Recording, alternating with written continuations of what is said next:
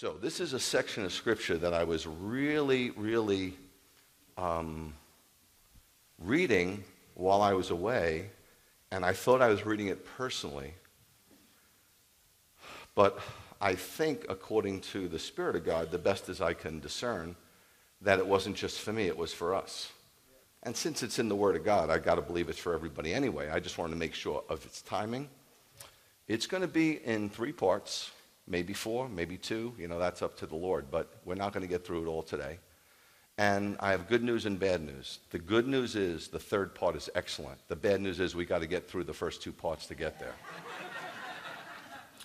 so, why don't we go to the scriptures and take a look at these 11 verses that we're going to be dealing with over the next three weeks? And the crescendo is verse 11. It says, One day as Yeshua was standing on the shore of Lake Gennesaret with the people pressing in around him in order to hear the word of God, he noticed two boats pulled up on the beach, left there by the fishermen who were cleaning their nets. He got into one of the boats, the one belonging to Shimon, and asked him to put out a little way from shore. Then he sat down and taught the people from the boat. When he had finished speaking, he said to Shimon, quote, Put out into deep water and let down your nets for a catch. Continuing, Shimon answered, quote, We've worked hard all night long, Rabbi, and haven't caught a thing. But if you say so, I'll let down the nets. End quotes. They did this and took in so many fish that their nets began to tear. So they motioned to their partners in the other boat to come and help them. And they came and filled both boats to the point of sinking. When he saw this, Shimon Kepha fell at Yeshua's knees and said, quote, Get away from me, sir, because I'm a sinner. Continuing, for astonishment has seized him, and everyone with him at the catch of fish they had taken, and likewise both Yaakov and Yochanan, Shimon's partners. Quote, Don't be frightened, Yeshua said to Shimon. Quote, From now on you will be catching men alive. And this is, this is the key. This is what we'll take care of probably week three, Lord willing. And as soon as they had beached their boats, they left everything behind and followed him. Okay, we'll break down, we'll try to get through maybe to verse 5, and then maybe next week we'll do verse 6 through 10, and then we'll finish with verse 11, because that's really the crux of it. That's really the message. Um, let's do the first three verses for a moment. It said, One day as Yeshua was standing on the shore of Lake Kinneret, it's, it's not ultra important, but it's not the Sea of Galilee. By definition, it's not a sea. It's a lake, and it's fed by the Jordans coming out of Mount Hermon, the headwaters. So, is that important? I don't know. You know what? I don't know. But you know, some people think I'm technical or I deal with semantics, but you know, words are very important. Yeah. One little word can change anything. Just ask Charles Taze Russell of the Jehovah Witnesses. Yes. In the beginning was the Word, and the Word was with God, and the Word was. A, isn't that amazing? One letter changes the whole Messiah. So I'm, if I seem a little technical, or if I seem a little uptight at times, maybe I'm uptight, maybe you're too loose. I don't know. It all depends on perspective. I'd rather have God say to me, Man, you took this too seriously than you didn't take it seriously enough. Just my humble opinion. So it's a lake. Kinneret is the harp. And it, why is it called Lake Kinneret? Because it looks like a harp. So somebody said, Hey, that looks like a Kinneret. Let's call it Lake Kinneret. With the people pressing around him, why were they pressing in? Look, he was the Son of God and he had the anointing like nobody will ever have. He received it without measure, meaning at all times he was full of God. Completely like if you went into his tabernacle, there was no room for anything else. He was chock full of the Holy Spirit. And God would press him out, and it would come out so powerfully that he had such an exousia, an authority about him, that people were convicted every single time he spoke. If you came in his presence, you either wanted to follow him and give him your life or take his life. That was the effect that the anointing that he carried had on people, which is really good. Because where there's no change of mind, there's no change of life. If there is no conviction, I know that nobody likes that word, but if there is no conviction, then there will be no repentance. If there's no repentance, there's no change. So can you imagine like walking with the Lord and saying, Where I am right now, Lord, this is where it's going to stay. I ain't changing. I'm a little like you, but I don't want to be any more like you. Think of how, I don't know what word to use. Okay, that's one of them. I mean, it's, I think it's beyond dumb. It's crazy because our whole, our whole objective is to be like Yeshua. That's the objective. It, it, does not matter what denomination you, you, you, you run in. It doesn't, in the sense that every single disciple of the Lord is to be discipled and to become more like Yeshua.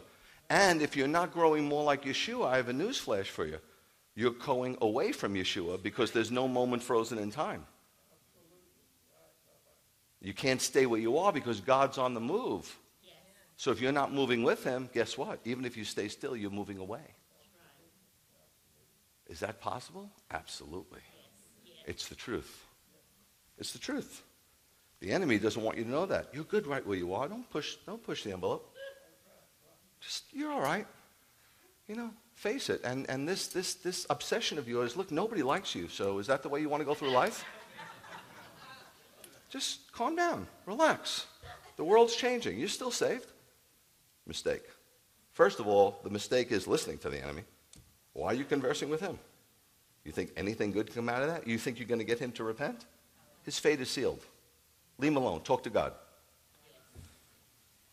So, they wanted to hear the word of God.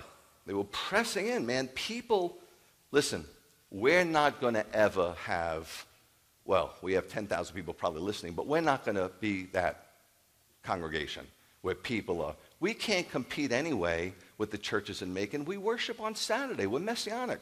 God didn't bring me here to compete. God brought me here to bring the Word of God. And so we are going to attract, I think, people that are hungry for the Word of God. Now, I'm not saying that the other churches are off. Maybe God's called them to be more seeker friendly and, and be more evangelistic.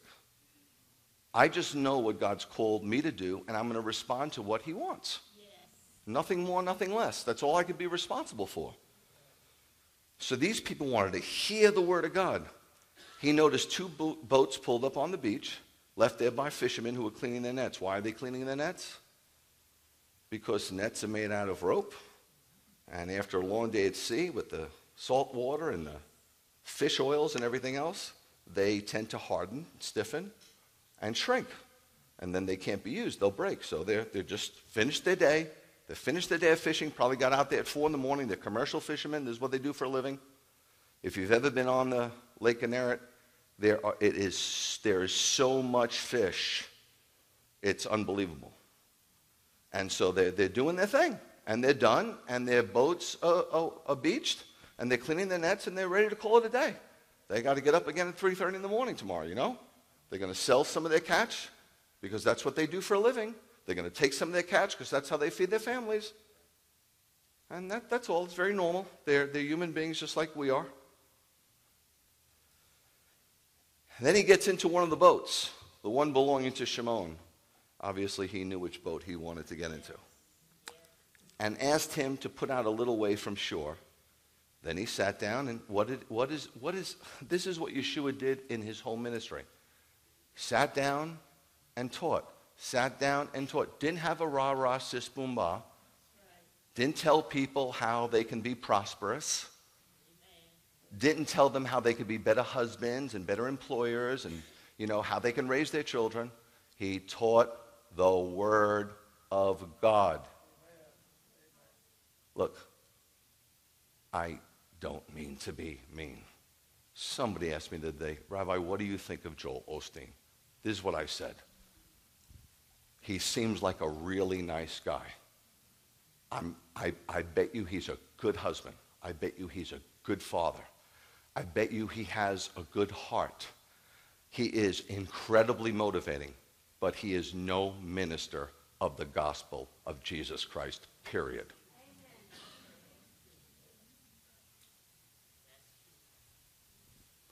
They said, How can you say that? I said, Because it's the truth.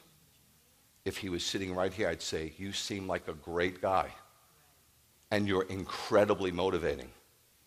You're not preaching the gospel of the kingdom of heaven. I'm okay with that. He's a motivational speaker. Beautiful. Who are you? Are you called to be motivating? Or are you called to preach the gospel of the kingdom of heaven? So he taught the people this is what I get from this. Yeshua used Peter's boat as a bema. Well, for some of you that don't know, bema is this is a bema. It's a raised platform. Ezra got on a bema and preached the word of God. Pulpit, if you're more comfortable with that. He used his boat as a pulpit. My take is whatever we yield to the Lord, he will use it. Let me show you a few gifts that Romans 12 speaks about. These are not spiritual gifts, these are more administrative gifts. Everybody here, and I'm not blowing smoke up your dress, is gifted. Everybody has some gifts, some multiple talents. But when God made you and He was knitting, He was knitting gifts into your DNA. Make no mistake. Now, the list that I'm going to show you is not exhaustive, it's just suggestive. It's not like, well, I've got to find one of my gifts. I'm one of the six. No. There's many more gifts. It's just a. The Bible's small. Doesn't have enough room for all the gifts. But this gives you some idea. It's just a smidge. But the point is that as believers, we're responsible to use our gifts for the glory of God. Never, ever, ever, ever, ever for self glorification. Never. Our giftedness, whatever God has given, we have to give back to Him. It says here, we have gifts that differ. And don't, you know, I think that's really important. Don't make your gift somebody else's. I, I don't look, I can barely deal with me. I don't want to deal with anybody like me.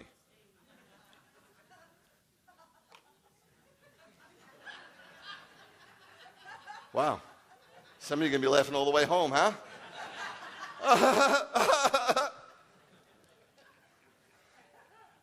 we have gifts that differ and which are meant to be used according to the grace that God has given us. Just whatever measure it is. And don't be jealous of anybody else's gifting. We're, we're a community, we're a family. We need all the different gifts desperately. Be excited that when God brings somebody in with another gifting in our, in our kihilat. If your gift is prophecy, use it to the extent of your trust. A prophet today is one who declares the mind of God and is real, revealed in the Bible.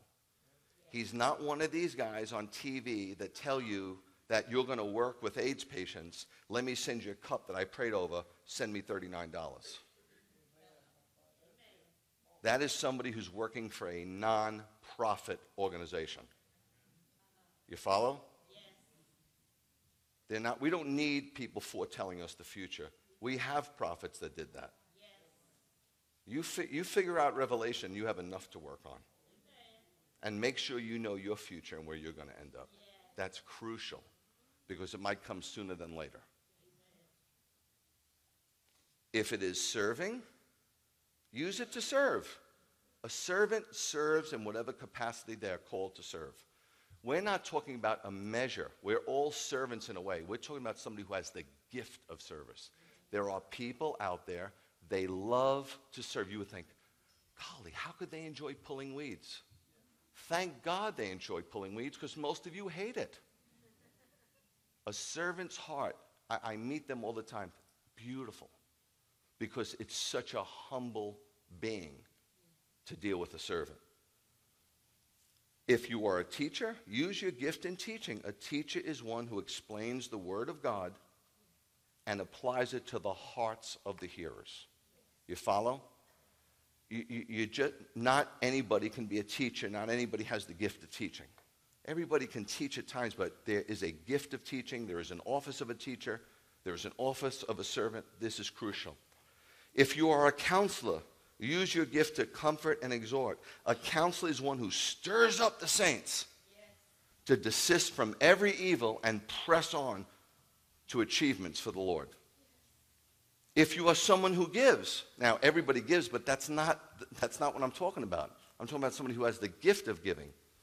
A person with the gift of giving has a divine gift which inclines and empowers him or her to be aware of the needs and to fulfill those needs and help those needs. They're always looking who needs, who needs, and looking to give. That's a giver. Do it simply. Don't make a federal case and be generous. If you are in a position of leadership, everybody's a leader to an extent. A leader is associated with being an under shepherd. The reason why when I sign things, Rabbi Greg, small r, big G, is because I work for the big rabbi. Yes. I'm just an under shepherd. So a leader is associated with being an under shepherd in a congregation. In this context, they're talking about not just a leader at home, but a leader in a congregation who stands in front of the flock and leads with care, but passion. Passion. If you don't have zeal, how can anybody else have it? It's trickle down spirituality. It gets diluted when it comes from here, so you better have power packed. Because it's only going to dilute when it gets to the crowd. And by the way, a leader in a congregation doesn't drive the sheep. They lead the sheep. They lead by example. What they say is what they do. And then it says here, if you are one who does acts of mercy, well, everybody should be merciful. It just means tender loving.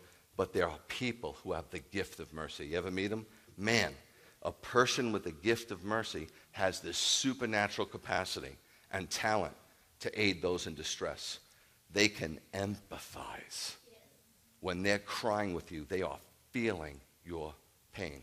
Some people have multiple gifts. There are many other gifts. But whatever gift you have, man, use it for the glory of God. Use it for the glory of God. It's not just about addition and subtraction with the Lord. A lot of times it's about multiplication. The gift doesn't have to be spectacular. You know, we're so influenced by the world that we think it has to be something tremendous. It, it doesn't.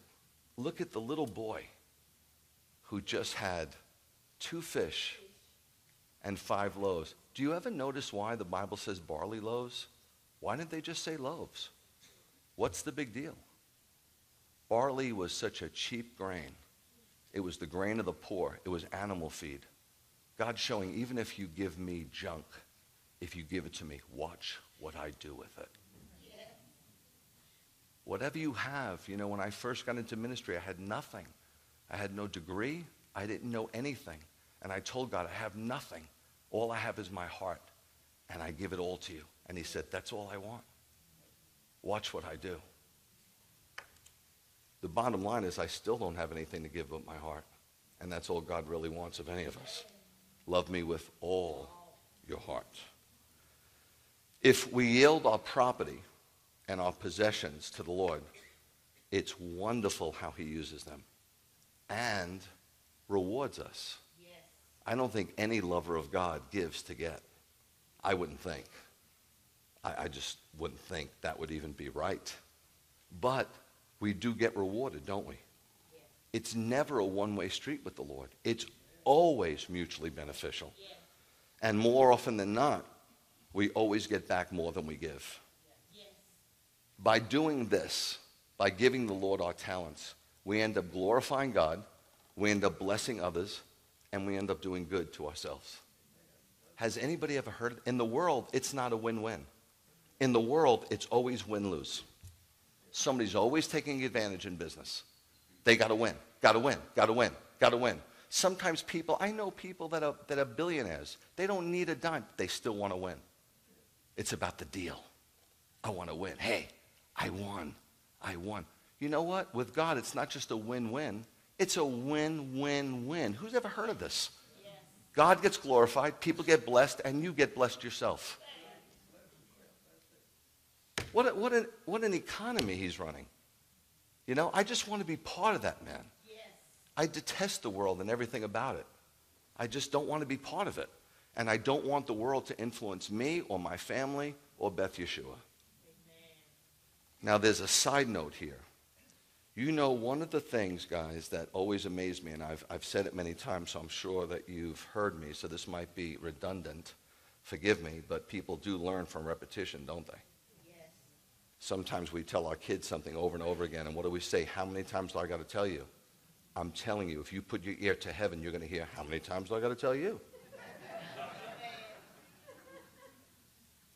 but with that being said, the reason why, you know, I'm the mayor of Simpleton. And I need things very, very simple.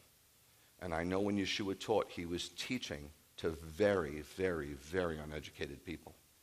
And he was using, you know, basic agricultural terminology that any five-year-old would understand. So everybody got the message clear and concise. There was no confusion in his message. And that's something I need. I like simplicity. I don't like complexity. And if you're intelligent here today, I applaud you. But clearly, you're intelligent enough to understand the simplicity. No? You can understand the simple. Yes? See, if you're super intelligent and I speak with, you know, seven syllable words, then the simple might not understand it. But if you're super intelligent, surely you can understand simplicity. So it works for everybody. There is contrast in the Bible. There is no gray area. Yes. You know, um, there are too many choices today. Way too many. I liked it better when somebody needed a pair of glasses, right? You had the choice between the black frame or the black frame. Remember the Clark Kent glasses? Yes. And now if you go, I don't wear glasses, but, but I, I know that they go, well, pick a frame, and you're like, what? And that drives you crazy when there's too many choices. With God, there's always two choices. You can choose to build your house on the rock or the sand.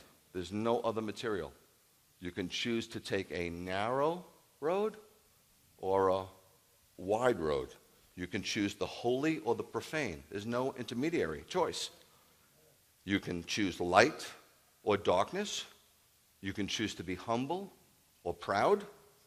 You can choose to be first or last. You could choose to be a sheep or a goat.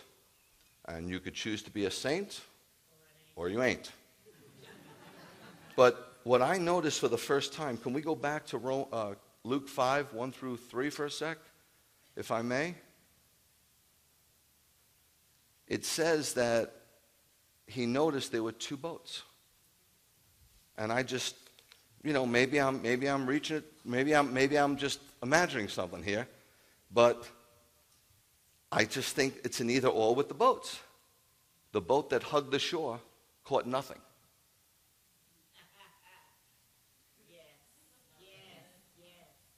You feel me? and the boat that went into deep waters caught so many fish that the nets tore apart. You ever see, forgive me, I'm going to be 60 this year, so I'm not young, but you ever see elderly people at the beach? They go in about their ankles and they do this.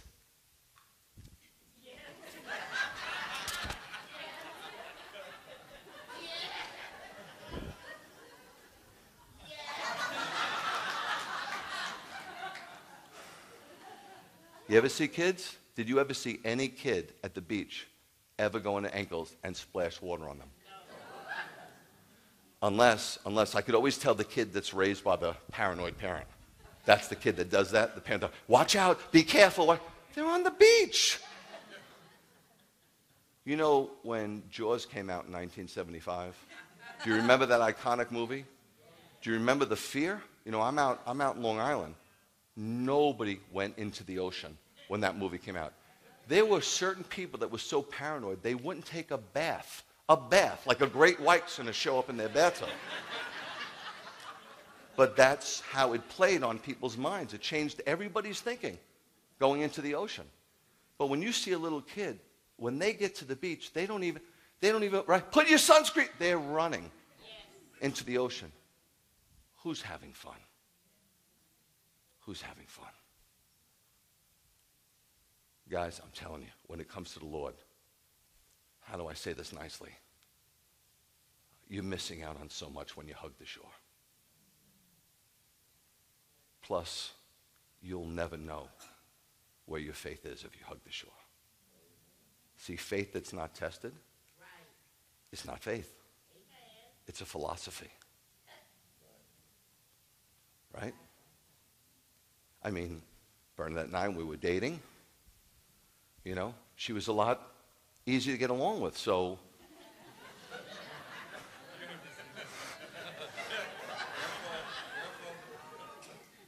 Let me, let me try to put it in something that you can understand. When we were dating, it was fun, right? She lives where she lives, I live where I live.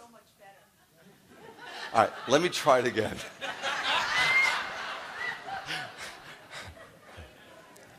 okay. When you're dating and you're seeing somebody once a week, right? Once a week, you've got your own life, they have their own life, and you get together on Saturday night, you go to a movie in Chinese. It's, it's easy. It's easy. And it's so easy to say, I love you. Then, you know, you get married, you have children, you have mishaps, you have issues. You'll find out if you love that person or not as time goes on. See, while you were dating, your love was never tested. It has to be tested, it has to be proven. It's the same thing with faith. And if you hug the shore, how are you going to ever find out if God's faithful? If you stay in the boat, you'll never know. All you'll have is philosophy. You'll have theology. You'll have scripture to quote, but you will never know if God is faithful. You'll have stories about somebody else who experienced God's faith, but you'll have no story for yourself. So 5 3 says that he told Shimon to put out from shore, man. Let's, let's go out. Let's get out of here. You know, these people are just listening to me. Come on, let me teach you something.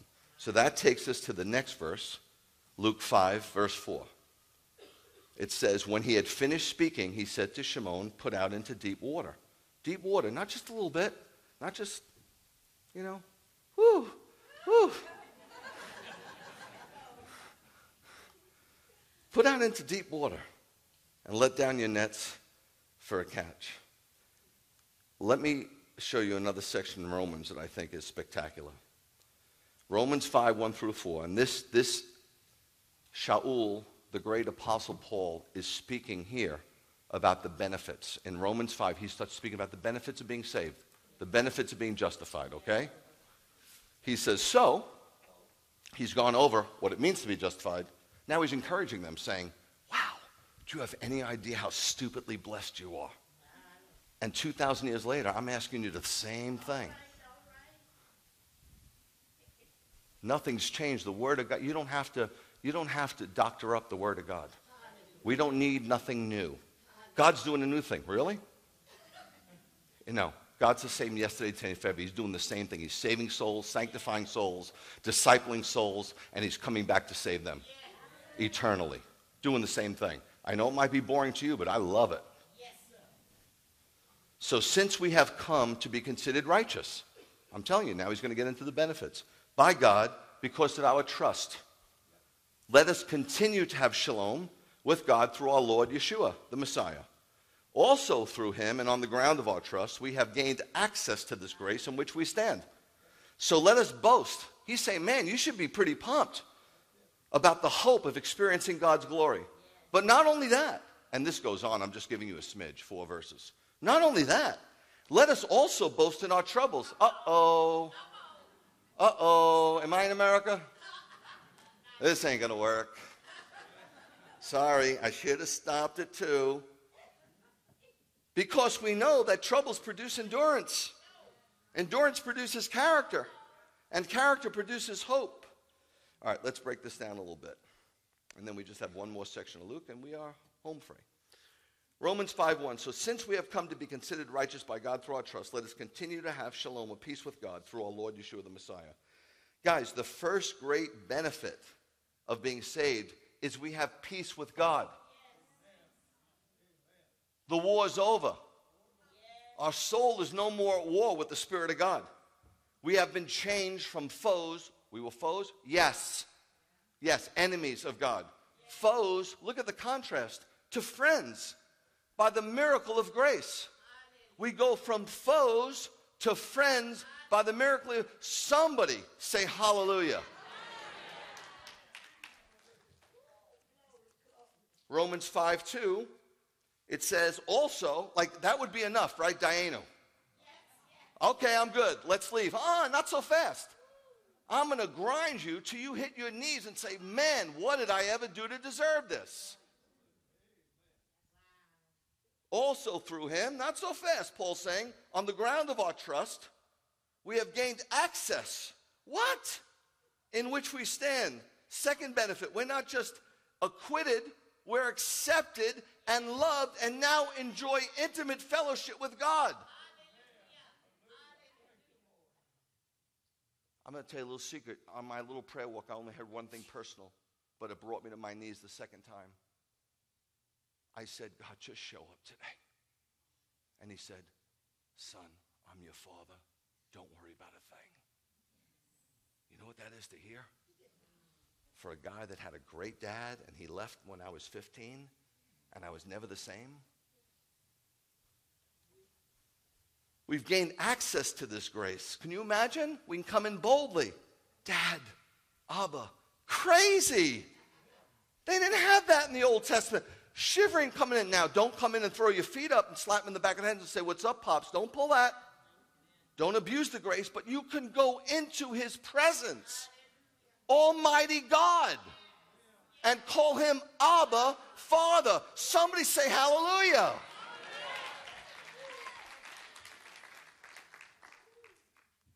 So he says, So let us boast.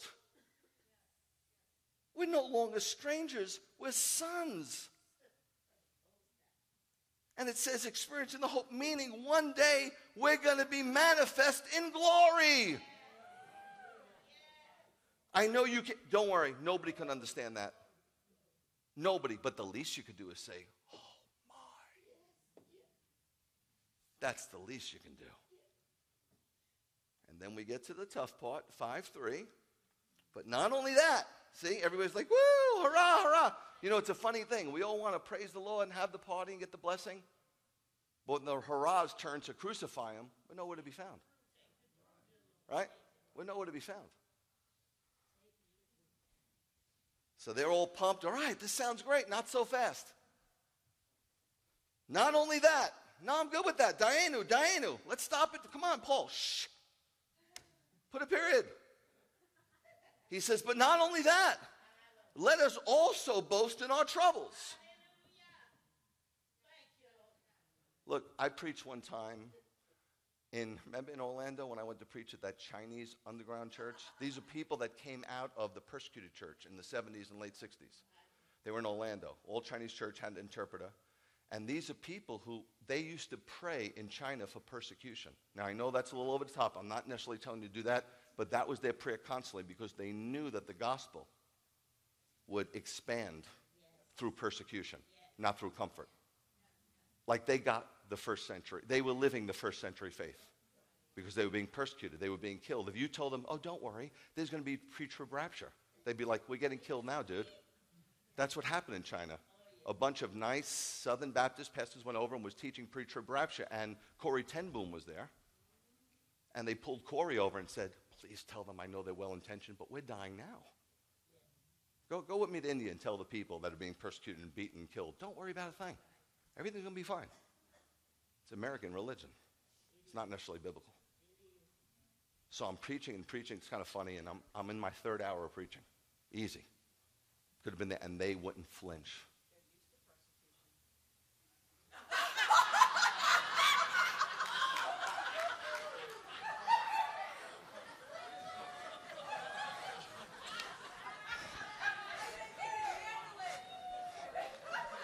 And let me go back to my point earlier that when you're dating,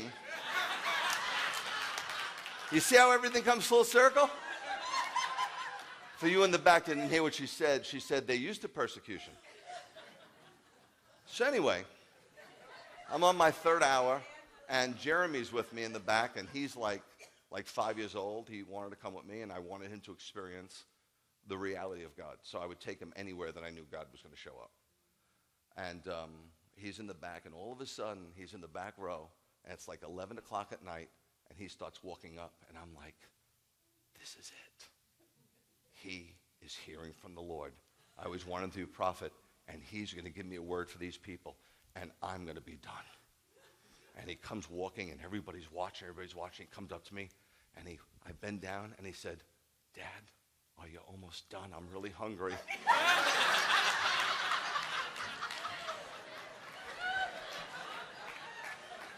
and so obviously you know where he gets it from. The apple doesn't fall far from the tree.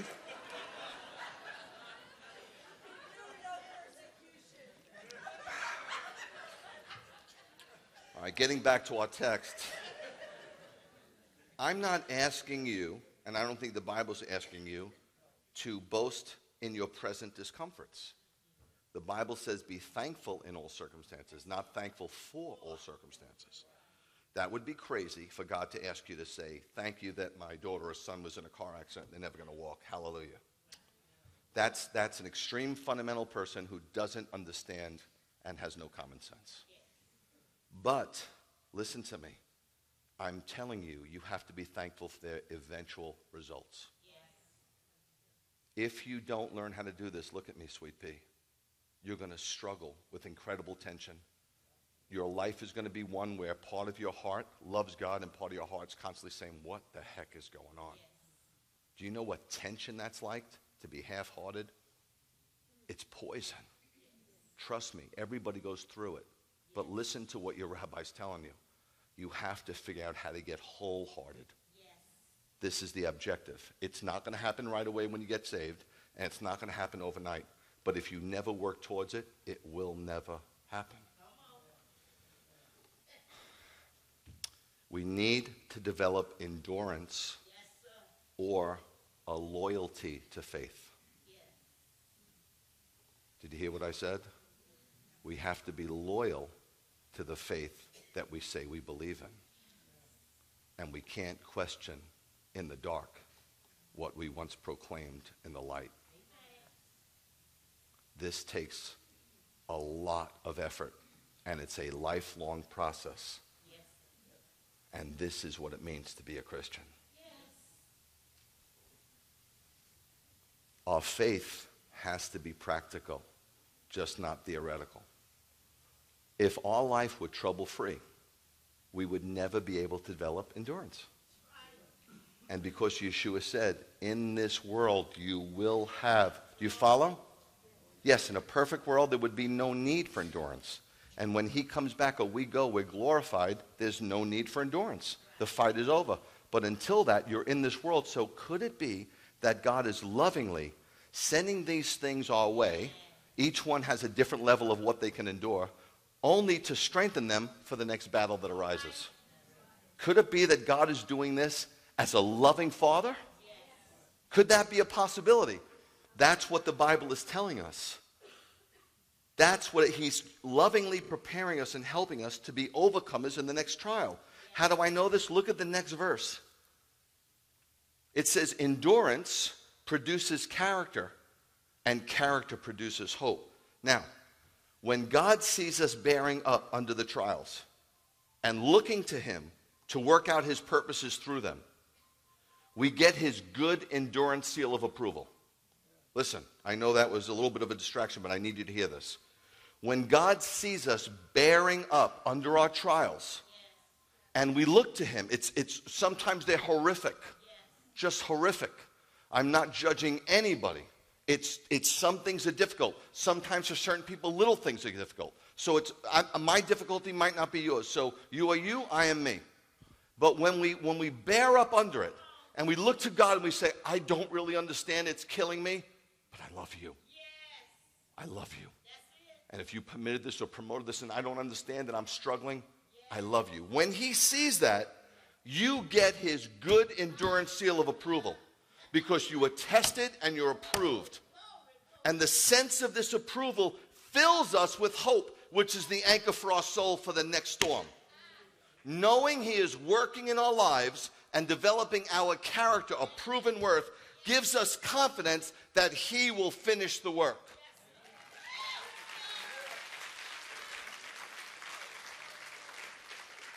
Now, let me show you this word hope because I, I, I, was talking to a friend of mine He's a pastor of 46 years. He's watching. Hey, Chuck. And he told me he did a paper on this for his doctorate in Bible college. So he loves this word.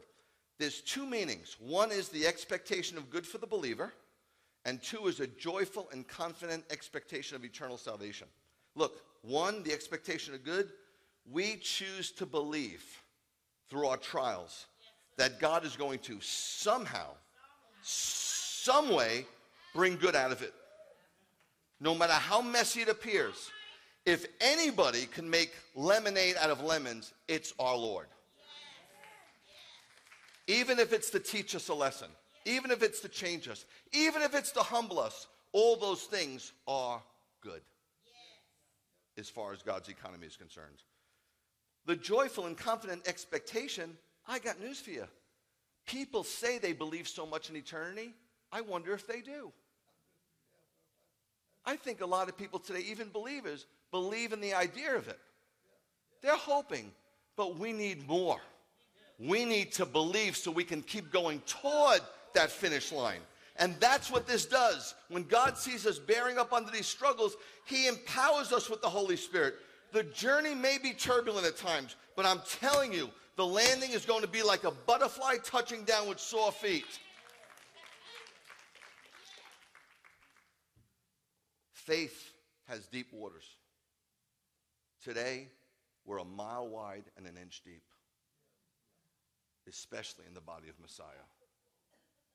Deep calls out to deep, not shallow to shallow. Deep waters is where we're going to find our faith. Faith has depth. So does suffering, so does sorrow, and so does loss. Let me ask you something. When everything's going right, don't you get silly? Don't you get goofy? But when you're struggling, you find yourself on your knees crying out to God. Desperation's not a horrific thing in the kingdom of heaven. I got to tell you, it's in these things, suffering and sorrow. You ask any great theologian, past, present, and future, these are the things that bear much fruit and fill our nets. I'll tell you something. We were in Israel about maybe two years ago. I forget which trip it was. And my friend, my good friend, who we're best buddies, who tours with us, he said, Rabbi, uh, would your people like to go to a friend's winery? It's a little boutique winery in the Golan. And the Golan, they're producing some of the best wines in the world now because of the lava rock. And I said, ah, Herzl, I, I don't really drink. I mean, let me, let me just ask. Let me ask. So it was like 80 people, and about 74 hands went up, and I knew the other six were Southern Baptists. I knew. They didn't even have to tell me. So I went with them into, into, the little, into the little gift shop, and we just sat and talked about how good it is not to drink wine. anyway, it's, it's not biblical. I don't want to get into it. I taught it a gazillion times. I think I taught it a couple of months ago but that doesn't mean, you know, beer is a Barolo, wine is a Macher. But it's, not, it's just not biblical. It's just a, a man made religiosity. And it, it happened that way. It's sad, but it happened that way, and that's the way it is. Anyway, so I, I took the votes. So I said, all right, just bring them. So we go to this winery. Guy's father was in Mossad. He was one of the nicest, sweetest guys. I'm thinking, you know, for me, anything without the Holy Spirit and without the Word of God is boring. And that just doesn't mean in Israel. It means like anywhere. My kids won't ask me a question because no matter what they ask me, hey, Dad, is this the way to screw things in? Well, the, the sheep go to the right. You know, they're going to get a biblical lesson, so they don't ask me anything anymore. They just walk around. And if in the house, like, you know, headphones. And then if they have any questions, like, where's mom? Where's mom? Do You have a question? No, no, no, no, we're good. We're good. So if you ever get tired of your kids and you don't want to talk to them anymore, just teach them a lot about the Bible and they'll stay away from you like the plague. But the guy was really, really sweet, and I'm sitting at this giant table with all these people, you know, and um, and um, you know, he gives them four little glasses of wine. It was like ten bucks or nothing, but I'm like, Lord, help me out here. There's got to be a lesson. There's a lesson in everything. Every every bush is ablaze, but it's only people that are looking for it that take off their shoes. God's everywhere, and He's in everything. I'm not talking pantheism. I'm talking about one God who is omnipresent. And so I asked the young man, I said, May I ask a question? He said, Sure, Rabbi. I said, I notice you don't have any irrigation here, and yet your wine is winning awards. What do you do in time to drought? He said, That's by design. We don't have irrigation. I said, How come? He said, Because the grapevines that have to dig and dig and penetrate to find the water produce the best grapes. And I looked at everybody and I said, I'm done here. I'm going to go hang out with the Baptists. you follow what I'm saying? If things are given to you on a silver platter, they have no value. When you have to dig and dig and thirst and hunger for righteousness and you find it, it has value. And when things have value, you treasure it. You want to have your business run into the ground? Just give it to your kids. If they don't have to work for it, they will sell it and buy a Ferrari. And all those years you drive around that clunker. Ain't that something? Last but not least, Luke 4 through 5 of chapter 5, and we're done. It says, When he had finished speaking, he said to Shimon, Put out into deep water. We went over that, but I wanted some context. Verse 5. Shimon answered, We've worked hard all night long, Rabbi, and I haven't caught a thing. But if you say so, I'll let down the nets. Now, I don't think Shimon, you can read into this any way you like, it doesn't, it doesn't give emotion, but I don't think he was being sarcastic. Now, he's being called in this section to be a disciple. And on our last lesson, we're going to learn what it is to be a disciple because I have a newsflash for you. Every disciple is a Christian, but not every Christian is a disciple. And we are called to be disciples, not Christians. And we're going to get into this, and this is going to railroad your thinking, but I'm going to show you scripturally where Yeshua used the word disciple 200 times. He never used the word Christian. The first time the word Christian was used in Acts 11 26 when it was a derogatory term. And I'm going to show you why you should be a disciple. That's later on. That's in two weeks. Okay? But for now, he did have a relationship with him back in John. Just so you know, from Luke 4 13 to 14, a year had passed. And you'll find that year in John chapters 2 through 5, where Yeshua ministered in Judea. This is like his second year of ministry, but this is where he's, he's not saying, hey, I just want students to listen to me. See, some of you are listening, to me, some of you aren't even listening to me. But that's not what I want. God wants disciples. And so at this point, he's saying, hey, I've been teaching, you like it, you know? Everybody likes it, right? It's cool, I'm doing some healings, like a dog and pony show, right? Remember that woman bent over, she's straightened up now, I'm giving you free food. Hey, anybody got some barley loaves? You can eat free. Everybody loves free food, right? And they love a show. But when push comes to shove, he was looking for not people who would, you know, walk with him out of curiosity, but die with him if need be. He was looking for disciples. And at this point, this is where he's like, Peter, we have a little bit of relationship, but do you want to be my disciple? He's now he's calling him to be a disciple. Okay. Peter is a fisherman. He's probably in his 20s here. He's, his father was probably a fisherman. Usually the trades are generational. So he's probably been fishing since he's two or three years old. Okay? Now, you know I know nothing about fishing.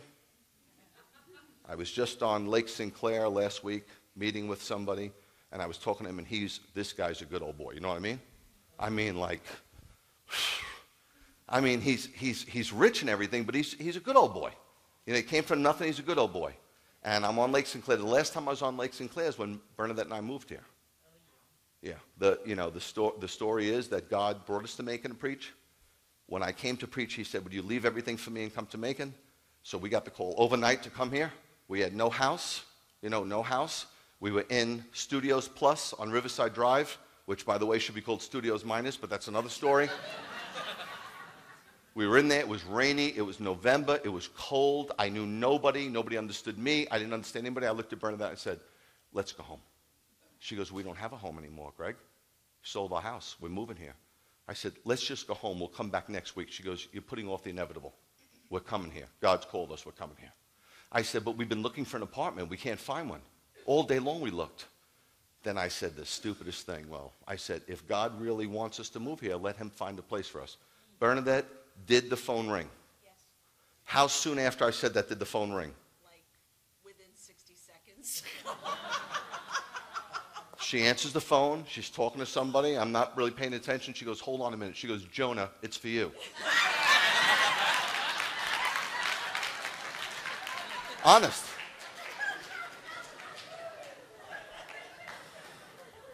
The guy gets on the phone. He says, Hello, my name is so and so. He's pretty well known in town. He doesn't, never went to our congregation. He said, I heard about your situation, your plight. I understand you have nowhere to live. He said, I have a house on Lake Sinclair. I'd like to give to you. I said, Sir, we have no money. I'm not in a position to rent the house on Lake Sinclair. He said, I don't think you understand, Rabbi. I don't need money. It's all furnished. Bills, everything's taken care of for you. I said, Why are you doing this? He said, It's okay. He met us. He said, It's right on the lake. There's a dock. You have little children. He gave me $40 at that time. We had two little children. Jeremy was a little. And he said, Here's $40. I said, What's this for? He says, Buy two life jackets for them.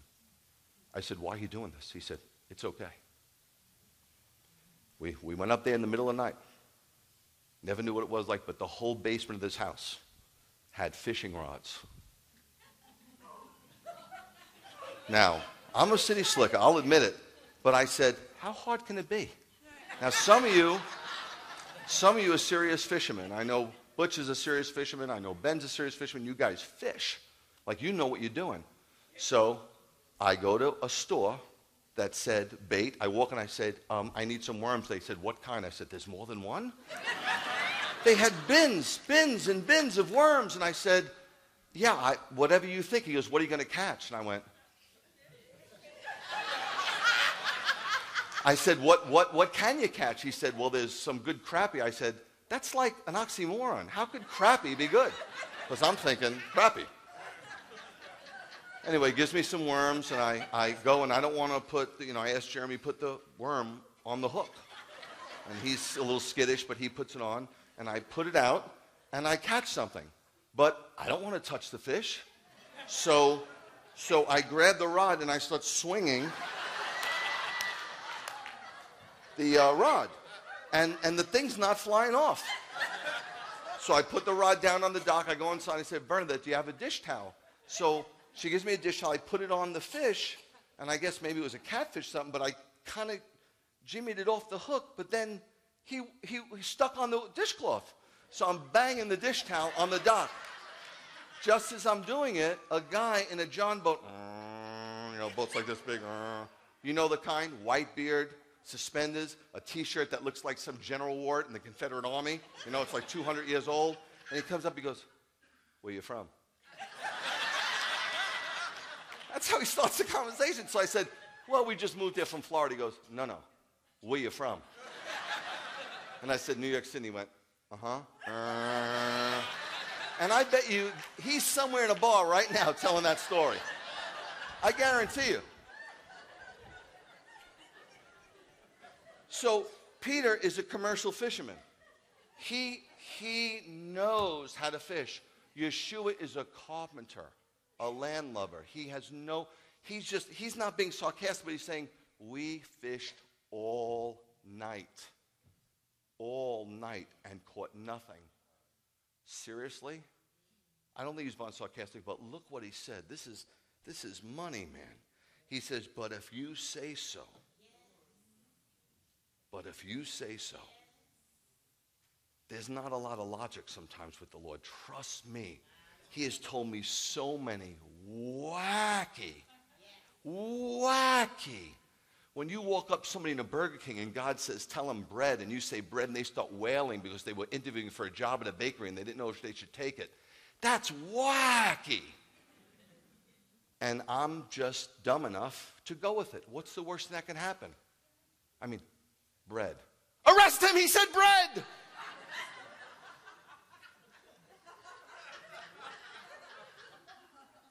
but if you say so, listen to me, guys, very, very important point, and then we're done. The Lord knows where the fish are running. He created them, they obey him, he knows where they are. Leaning on our own understanding, no matter how smart you may be, is futile when it comes to the kingdom of heaven. The secret for success in God's economy is to hear and obey what you hear. Period. putting all doctrine aside. We all agree mostly about doctrine. But when God tells you to do something, you're not going to necessarily find it only in the Bible. You're going to have to hear and respond to his voice. If you say so, I'll let down the nets shows an incre- the incredible value of being available and teachable and most importantly faithful and obedient. Look at Proverbs 3 5. Trust in the Lord with all your heart. It's not just a good bumper sticker or something you put on your fridge or something your kids learn at vacation Bible school. This is an out and out command. God knew what he was saying 3,000 years ago when he said this. Nobody can refute this. There must be a full commitment to the Lord. Not just for our salvation. If you think that's where it ends, that's where it begins for the direction of our lives. There must be a commitment without reserve, and listen, a healthy distrust in ourselves. Some of us are in the medical profession, in the business profession, IT, restaurant business, whatever it is. You are very good at what you do. You have learned your craft, but don't think you know so much about the kingdom of heaven. You have to be dependent on the God. You have to have a healthy distrust in yourself. I don't trust me, you shouldn't trust you. I trust the Lord. We have to just admit at times, I don't know what's going on here, but if you say so, I'll let down my net. If you say so, if you say so, I'll let down my net. The next verse, and we're done with scripture today Proverbs 3 6. In all your ways, acknowledge him. Then, see, if you acknowledge him, if you seek his face, if you ask him, then he'll direct you. If, then, you're not going to get the then unless you do the if. There's a human side and a divine side to this equation. If you check with the boss, he will lead you in the direction that you need to go. God is saying in this verse that every area of our lives must be turned over to his control. Again, is this easy? No, there's something progressive about it. But if you don't even look at this as an objective, you'll never get there. Our one and only desire is that we should know his will for our life. His will for your life is different than his will for my life. How? One way, through reading the Bible. Make no mistake, if you want to know the will of God for your life as a disciple, as a believer, you must read His Word. Some of you didn't read the Word today, yesterday, last week, or the whole month. That little verse that you're getting on your phone, the little verse of the day, the little, you can do all things you're doing yourself a disservice, not God. God is God. You will not change him whether you read or not read. You must get in the Word. Okay? Stop listening to music all day long and read the Word of God for God's sakes. That's one way. Second way is through the advice of, and let me, let me highlight, godly counsel. Make sure somebody is wise that you're speaking to make sure somebody is proven, a proven commodity, that they operate in the wisdom of the Lord. Godly counsel. Also through the inward peace of the Spirit. What do I mean about that? Darkness about going is light about staying. When you have no peace, it doesn't mean you're not going to have hurdles, but when you have no peace about doing something, that is the Holy Spirit saying, don't do that something darkness about going. Don't get emotional. I think maybe God's just. No. Peace has to be the umpire of your heart when you're making decision about your life, especially when God's in it. And let us not overlook the amazing converging of circumstances. You know, Samuel wrote to me, I just spoke to him this morning. When he wrote to me, he wrote to a lot of people. He wrote to a lot of people for help. Nobody responded. Who would? Who would? Would you? Would you send money to some guy sitting in an internet cafe in India who you never saw sight unseen? Would you send him money? Of course you wouldn't. Come on, be honest. You'd delete that email so quick. You would delete it so quick you wouldn't even entertain it. Why don't you trust in the Lord with all your heart and lean not on your understanding? Why don't you acknowledge him in all your ways? And he'll direct your paths. That's all I know how to do. I don't know if the guy's legit or not. I'm just Greg. So I asked the Lord. The Lord said yes right back to him. Okay? Samuel, this is Greg Hershberg. Got your email. What can I do for you? His email was long. That was my email. Right?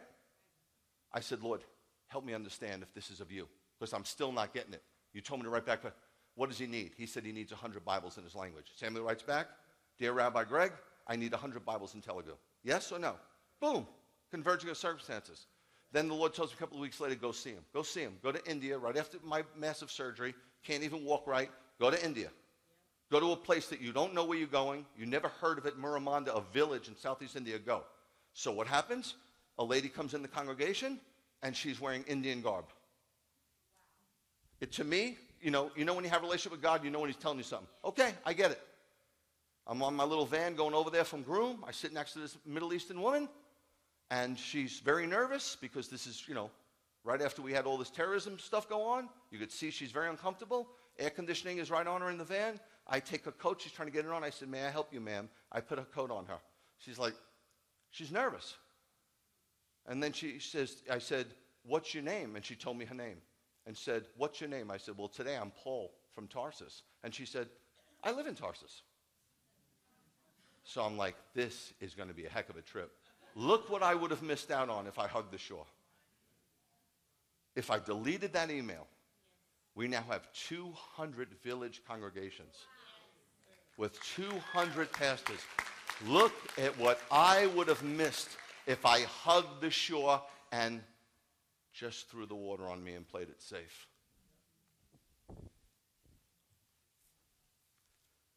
If we really, big if, want God's will for our lives, and we intend to obey what we hear, God will make the direction so obvious and so clear that to refuse Him would be positive disobedience. Now, if you really want God's will for your life, I'm going to ask you to pray a prayer with me. But listen to me, I'm not trying to scare anybody. It's a covenant. God is a covenant maker and a covenant keeper. Not like us. Lord, in sickness and in poorness and health, wealth, whatever it is, covenant's over. Not with God. He takes it very seriously. This is what I said to God many years ago. Lord, I'm not the sharpest tool in the shed, but I'm no bowling ball either. If you make it clear to me, I'll do it. If that's you, and you want to repeat that with me, feel free. Lord, I'm not the sharpest tool in the shed. Lord, I'm no bowling ball either. If you make it clear to me, I'll do it. Let's stand together.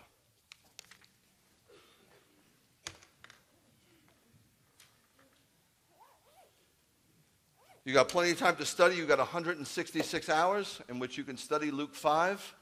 The rest of it, verses 6 to 10, we'll go over next week. And then the crescendo, or the big left hook, will be verse 11, where it says, leaving everything behind. And we'll get into what it means to be a disciple. It should be a, uh, a doozy. I really think so. I'm really excited about the Lord's word. And uh, as always, uh, be good to God and be good to each other. That's really what it's all about. And, and, and listen to his voice. And guys, obey it because he's crazy about you. Absolutely crazy about you. And I know a lot of people say to me, well, Rabbi, sometimes I don't know. Sometimes I don't know. You know, I got to be honest with you. You know, uh, God goes to his go to people. And if you have a lot of unfinished business with the Lord, sometimes he'll just find somebody else. If, if, if you know, the Jewish people were going to leave Persia, and if the book wasn't called Esther, it would have been called Miriam. That's what Mordecai said. Hey, you know, he's going to get somebody to do it. You want to be his guy. Don't you want to be that guy that when your name comes up in heaven, God says, oh, I could depend on that guy. You want to be his guy. So when you hear his voice, just do it. Just be flagrant. Be nuts. I mean, no matter what it cost you. Because when it's over, you're going to be like, I feel so good. And you're going to hear, Well done, good and faithful servant. Now may the Lord bless you and keep you. May the Lord make his face to shine upon you and be gracious unto you. And may the Lord lift up his very countenance upon you and give you his peace. In the name of the Prince of Peace, Yeshua. Yivarecha